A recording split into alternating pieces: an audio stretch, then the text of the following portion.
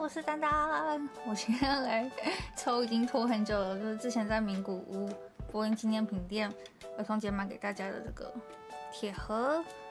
然后，因为我想说，如果直接用电脑选号有点无聊，所以我这次是用飞机扑克牌来抽。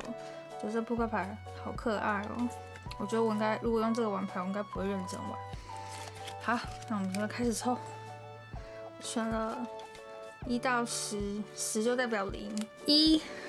这个汉莎航空 Loop Hansa，之前有说过，那个 Loop 就是德文 air 的意思，然后 Hansa 是一个以前他们以前的商业联盟，所以 Loop Hansa 就是有点像空中的商业联盟，这是一，然后二就是空巴的那个大白鲸，然后三七八七，这是我最喜欢的七八七的涂装，然后这是 复兴航空，我们要想念它一下。福克五十用来载长官用的飞机六七四七，然后我喜欢长荣的七四七，因为他们那个楼上是经济舱，等于说那但华航的楼上是那个头等舱，所以平常是很难上去的。然后七这个是以前那个张荣八爷爷他的那个私人专辑，不过他们现在好像已经卖掉。我哎，我记得新闻有说是卖给成龙吗？还是是传传说？远东，这是 M D 八三，感觉现在应该差不多要退役了。A T R，国内线的好朋友，儿童节最爱的飞机。最后一个，这个是代表零哦，这个是啊，旺旺集团的商务客机。我记得他们还有一家湾流，就是有钱人。好了，我现在赶快开始。好，因为总共有一一百多个旅客参加，所以。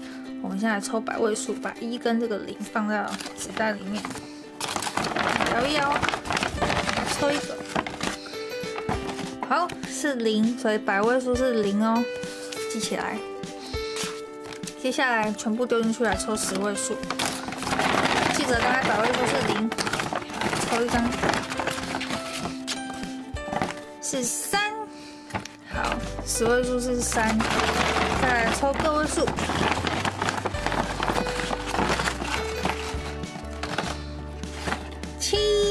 好，第三十七个旅客可以得到这个小礼物。我们现在来看是谁，看这个，不要最相关，我要就是所有留言。